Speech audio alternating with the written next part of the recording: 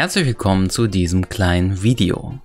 Ihr merkt jetzt schon, dass es ein wenig anders losgeht als sonst.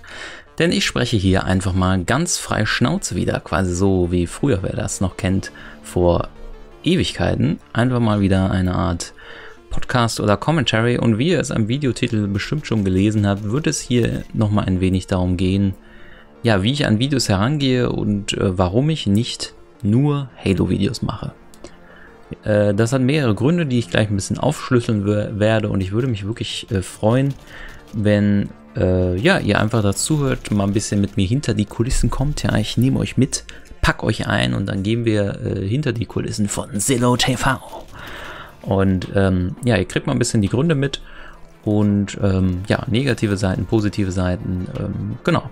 Zunächst kann ich das ja jetzt auch mal nutzen, wenn ich immer so ein bisschen freier rede, ähm, ja, dass ich mich nochmal bei allen bedanke, die diesen Kanal, äh, ja, seitdem ich ihn wieder gestartet habe, auf jeden Fall so unterstützt haben, dass wir mittlerweile schon, äh, ja, auch wieder eine relativ große Abonnentenanzahl, finde ich zumindest in so kurzer Zeit angesammelt haben und auch generell eigentlich immer viel Interaktion und so da ist. Ich finde es ja immer am coolsten, weil ne, ich verdiene damit kein Geld und so. Deswegen ist das für mich so dieser Austausch immer cool, wenn Leute kommentieren und ich mir das manchmal nur durchlese, aber oft auch versuche zu antworten. Kommt aber ein bisschen darauf an, was ich sonst noch so in meinem Leben zu tun habe. Aber genau, einfach dieser Austausch, dass man hört, was so andere Leute denken und ähm, genau, einfach sich über seine Leidenschaften ausdrückt. Und da kommen wir nämlich auch schon zurück zum spannenden Thema, ähm, dass es so ist, dass ja, ich nicht nur Halo-Videos mache, weil mich einfach auch erstmal als eines dieser Punkte viele andere Sachen auch noch interessieren. Ich interessiere mich einfach allgemein für Medien, Popkultur und so. Es klingt immer so komisch, wenn man das so zusammenfasst, aber es ist ja im Prinzip so. Also Star Wars Herr der Ringe, ähm, Herr der Ringe nochmal ganz speziell, weil durch Rings of Power, auch wenn das so eine Kontroverse ist, ich das dadurch nochmal entdeckt habe, dass ich die Bücher und so mich damit auch nochmal beschäftige, was ich halt so seitdem ich so neun oder zehn war, keine Ahnung, nicht mehr gemacht habe und deswegen da mich jetzt nochmal so reingefuchst habe, äh, ein bisschen und so. Und das mir halt auch allein schon sehr viel Spaß macht, deswegen cool ist. Und ähm, ja, aber auch ich immer schon eine Leidenschaft für Game of Thrones hatte und da sehr viel äh, eine Gusto, wer noch meinen alten, unseren alten Kanal kennt, da habe ich ja auch schon zu Staffel 6 und so Sachen gemacht damals. Also durchaus immer ein bisschen breiter aufgestellt, von meinen Interessen her einfach schon immer war. Und ähm, ja, Halo einfach nicht mein einziges Interesse ist, auch wenn ich natürlich so Halo eines dieser, jeder hat ja so ja, von den großen Franchises im Gaming und im, ähm, ja, Film, Serienlandschaft hat man ja immer so ein paar Sachen, die einen einfach immer so interessieren. Ne? Es gibt Leute, die interessieren sich nicht für Star Wars, interessieren sich eher dann für DC, interessieren sich eher für Marvel, interessieren sich eher für was weiß ich. Und ich habe da sehr viele, aber so in den Kerngruppen ist halt Halo, Game of Thrones, ähm, Star Wars und ja, Herr der Ringe jetzt auch wieder. Ja, ähm, und da rührt meine Liebe hauptsächlich halt von der Original-Filmtrilogie her. Äh, genau. So, und deswegen will ich das auch einfach hier irgendwie einbinden. Und ähm, ja, das ist so mal der erste Grund. Auf der anderen Seite finde ich es bei Halo immer so ganz egal, was man jetzt von Infinite und der Entwicklung, die dieses Spiel genommen hat und auch immer noch nehmen wird, ähm, hält. Ja, dass Halo einfach immer schon Phasen hatte, vor allem in den letzten zehn Jahren, wo man einfach immer wieder Sachen hatte, wo ja nicht so viel Großes passiert. Ich könnte jetzt natürlich auch hingehen und so ein Kanal sein, der äh, ja, sage ich mal, die alltäglichen News oder die kleinen Tweets von äh, Joseph Staten oder so dann wieder äh, kommentiert und so. Aber ja, ich will halt immer eher so die großen Entwicklungen dann vielleicht mich mit befassen und, und so, ne? Und jetzt nicht zu jedem kleinsten Kack dann da noch ein News-Video rauspumpen und so.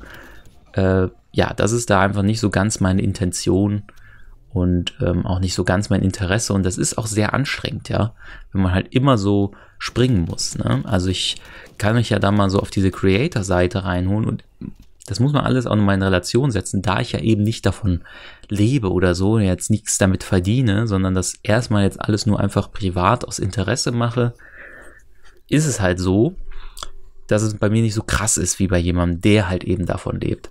Aber man muss sich das halt immer so vorstellen, man muss immer so auf dem Schirm haben, okay, diese Themen sind gerade für mich relevant auf meinem Kanal und dann kommt da ein neuer Trailer zum Beispiel raus und dann ist es wichtig, vor allem wenn man noch ein kleiner Creator ist, das kommt noch dazu, wenn man jetzt der allergrößte ist, äh, die so solchen so eine Art von Content machen, ist das nochmal was anderes. Da muss man auch schnell sein, weil die Leute sehen dann den Trailer und die, die sich dann für weiteres noch interessieren, suchen dann relativ schnell nach, nachdem sie den Trailer gesehen haben, auch nach zusätzlichem Content dazu. Also sei es jetzt eine Trailer-Analyse oder was auch immer. Ja. Und wenn man dann schnell ist, kann man sich natürlich nochmal eher besser positionieren in der Search History, im Algorithmus und kriegt dadurch dann auch ein paar Views und, und so, ne? So. Und äh, das ist halt als kleiner Creator eben ein bisschen schwieriger.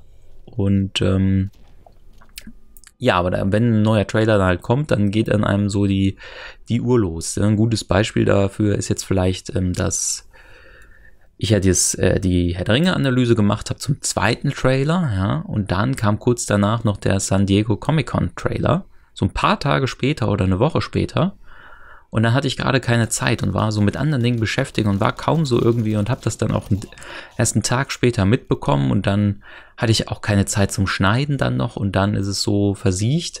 Aber es wäre natürlich besser gewesen, auch wenn der Trailer ja, sagen wir mal, nur noch ein bisschen aufgebauend auf dem Trail, auf dem zweiten Trailer noch ein bisschen mehr geliefert hat, wäre das natürlich gut gewesen, da was rauszubringen. Äh, so, und das stresst dann immer so ein bisschen, weil man denkt, ah, jetzt verpasse ich das und dann, äh, und so, ne? Es ist so ein bisschen so ein mentaler Struggle, der da immer mit dieser ganzen Geschichte da so mit einhergeht. Und ähm, ja, das sei auch nochmal gesagt, ähm, wenn man diesen Content macht. Und ähm, ja, ist bei Halo halt auch genauso. Bei Halo ist es aber momentan so, dass eben, und darauf wollte ich eigentlich hinaus, nicht viel große Sachen passieren und ich mir jetzt auch nicht, ja, wie im Deutschen und Englischen, äh, hauptsächlich sehe ich es im englischsprachigen Bereich, muss ich sagen, eigentlich ähm, bei den großen Halo-YouTubern, die auch eben damit Geld verdienen, die dann gezwungen sind, Content zu machen, obwohl gar nichts passiert, Neues. Und sich dann immer so ein bisschen was, naja, aus den Fingern saugen müssen, manchmal auch, habe ich zumindest den Eindruck, ähm, ja, um da halt regelmäßigen Content draus zu machen. Oder halt eben die allerkleinsten News immer covern. Ne?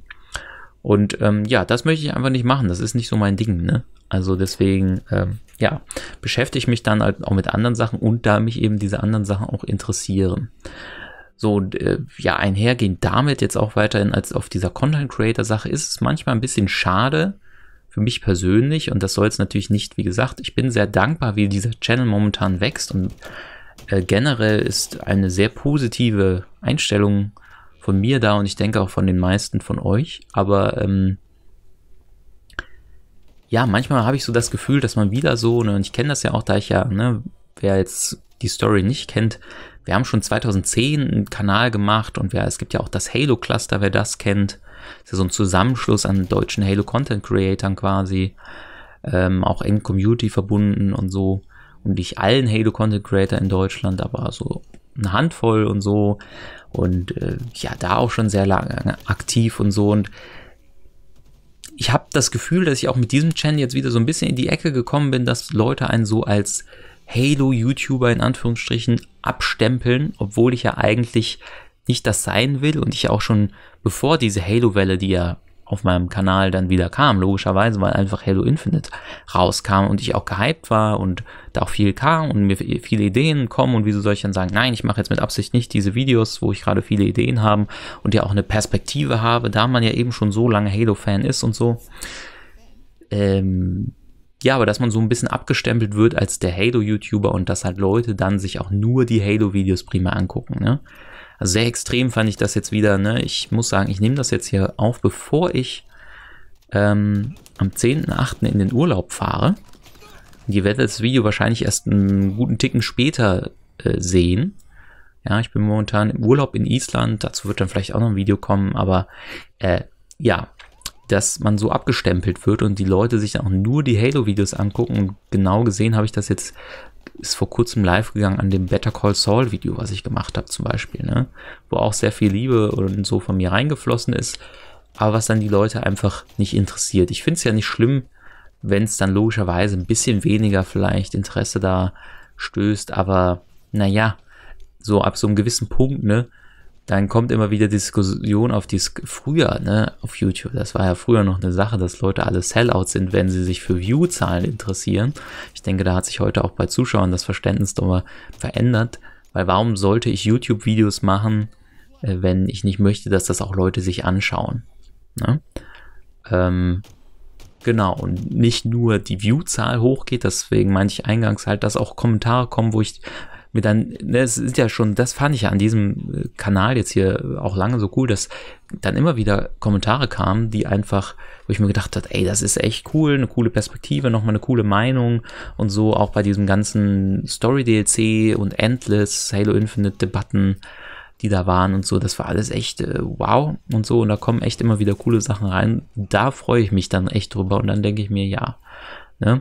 Klar, wenn jetzt die Herr der Ringe Trailer Analyse plötzlich über 3000 Viewed, Views hat, freut mich das natürlich auch. Aber ne, ist, ist für mich auch eben dieser Austausch, der jetzt äh, so ein bisschen den Drive gibt. Und ja, wenn sich das dann halt keiner anschaut, dann hat das irgendwie ein, zwei Kommentare oder so. Ähm, ist das natürlich durchaus demotivierend. Ne? Und das muss ich ja eigentlich, finde ich, auch gar nicht rechtfertigen, ne, wie ich es jetzt gerade eigentlich getan habe. Aber äh, es ist einfach ein bisschen demotivierend. Und so. Und dann hat man halt das Gefühl, dass man so abgestempelt wird, ne? Und dass man halt so auf Halo reduziert wird und die Leute sich nur für den Halo-Content interessieren. Und das findet man dann eben sehr schade. Und das war auch ein Grund, warum ich jetzt nochmal dieses Video hier machen wollte, ne? Genau. Ähm, ja, und auf Dauer würde es mir, muss ich sagen, mit Halo auch zu eintönig werden. Ne? Das ist halt so eine Sache ich glaube, von jedem Franchise, egal wie sehr man es liebt, braucht man auch immer mal wieder eine Pause und Abstand und so, damit man das auch wieder appreciaten kann. Und das ist bei Halo halt auch so. Deswegen könnte ich das jetzt, glaube ich, nicht jeden Tag irgendwie dann Halo-Videos rausbauen oder so, ne? Aber ja, so, das war so ein bisschen meine Erklärung. Habe ich jetzt noch irgendwas vergessen? Ähm, nö, Ne, ich habe jetzt auch noch viele Ideen ne, und damit komme ich auch zum ja, letzten Punkt in diesem Video. Für alle, die bis hierhin durchgehalten haben, vielen Dank an dieser Stelle. Ihr könnt mir auch gerne mal eure Ideen, was generell Content angeht, immer gerne schreiben. Ja? Nicht nur jetzt hier, aber ähm, im Speziellen, wenn euch jetzt gerade noch was einfällt, was ihr gerne sehen möchtet.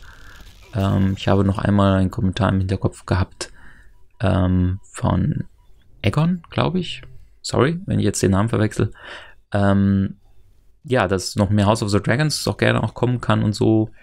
Ähm, wie gesagt, ne, wundert euch nicht, jetzt läuft jetzt wahrscheinlich momentan gerade an oder ist kurz davor. Ne, ich habe es auf dem Schirm, bin aber wie gesagt im Urlaub bis Anfang September. Das heißt, erst dann kann ich mich äh, damit beschäftigen, aber dann werde ich auf jeden Fall irgendwas auch noch dazu machen. Und ähm, ja, zur Herr der Ringe-Serie werden noch Sachen kommen. Und ja, ne, dann natürlich auch, wenn irgendwann eine zweite Staffel von der Halo-Serie kommt, dazu. Das war ja auch sehr cool, obwohl die Serie ja, wie gesagt, durchwachsen war. Ne? Allein diese Auseinandersetzung war sehr cool. Ne? Und einfach den, die Entwicklung von Infinite noch weiter betrachten und so und immer mal wieder ein bisschen was zu Halo in anderweitig machen, zu Lore oder zu, äh, ja, den Büchern jetzt auch, ne? wie es jetzt auch eben auch kam oder noch kommen wird, wenn es noch nicht, je nachdem, in welcher Reihenfolge ich das dann veröffentliche. Genau, aber schreibt mir auch gerne, was ihr sehen möchtet. Ich habe, wie gesagt, noch andere coole Serien, ne? wenn vielleicht dann es langsamer losgeht mit The Boys Staffel 4, werde ich dann zu, dazu was machen. Jetzt ist ja gerade Staffel 3 vorbei, das heißt, das Interesse für The Boys wird jetzt auch erstmal ein bisschen abschwappen, deswegen brauche ich da jetzt, glaube ich, nicht sofort reinsteigen, aber so generell da auch und so weiter. Ne? Also generell in solche Richtungen. Aber wenn ihr irgendwelche Franchises oder irgendwelche Serien oder irgendwas habt, ne, wo ihr gerne mehr zu sehen möchtet, schreibt es mir gerne. Oder auch ne, so ein Erklärvideo einfach gerne mal hättet, ne, zu einem bestimmten Thema in Halo oder Herr der Ringe oder Star Wars oder so, ne, dann gerne mal raushauen. Ich bedanke mich an dieser Stelle fürs Zuschauen und wie gesagt, das ist jetzt hier so ein Video außer der Reihe. Ne? Es wird jetzt hier auch nicht der große neue Content, er wird einfach immer reden und so, ne? Obwohl ich überlegt hatte, ein Solo, ein Solo-Podcast, das wäre auch noch so eine Idee, ne? Aber dann denke ich mir wieder, habe ich einfach noch nicht die Reichweite zu oder generell nicht die Reichweite zu, dass das wirklich erfolgreich werden würde, ne? Auch in relativen Ansätzen gesprochen. Deswegen mal schauen. Ähm, ja, ansonsten, ne, checkt auch Twitch ab, ne? Freue ich mich immer sehr. Und ähm, ja, macht euch noch einen angenehmen Tag, Abend, Morgen, was auch immer, Woche, Wochenende. Ja, macht es gut und vielen Dank für, euren ganz, für eure Unterstützung und für eure Kommentare und bis zum nächsten Video. Bis dahin. Ciao, ciao.